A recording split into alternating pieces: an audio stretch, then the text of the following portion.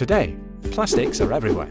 Just look around you and you will find that we are surrounded by products made out of plastic, like cars, home appliances, phones, toys, just to mention a few, apart from packaging.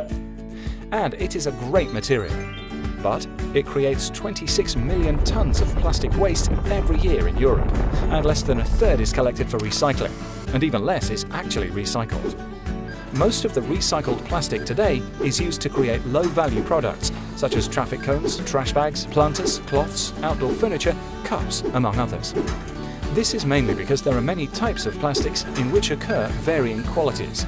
They have different properties and compositions, and they need to be separated before recycling. If this is not done properly, the plastic mixture has unpredictable properties, making it unusable even for the simplest applications. Don't even think about high-tech components and precision parts.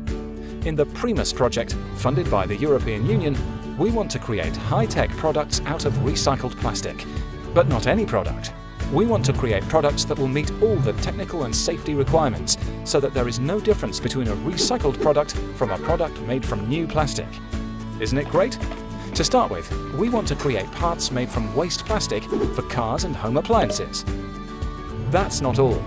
We'll be boosting the plastic recycling industry in Europe, creating methods to control the recycled quality, connecting who collects the waste with who can process it and use it, improving regulations and providing recommendations, and creating a new wave of high-quality jobs for the plastic recycling industry, as well as making our world a little bit greener and with less plastic waste. To make this happen, 12 organisations from around Europe are working together to deliver the Primus mission, thanks to 7 million euros of funding from the European Union under the Horizon Europe programme. Do you care about the environment? Do you want to learn more about plastic recycling and follow our work for the next three years? You can be part of our Primus community and help with the journey of plastics recycling by visiting www.primus-project.eu. Next time you want to buy a car or a home appliance, you may ask about the content of recycled plastics to help you make a wiser decision.